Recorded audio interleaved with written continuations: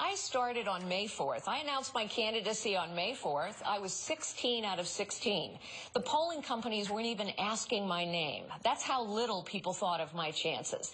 Now I'm sitting on a debate stage with seven other candidates. There's no other candidate that has the trajectory that I have had. And the reason I've been on that trajectory is because people hear me.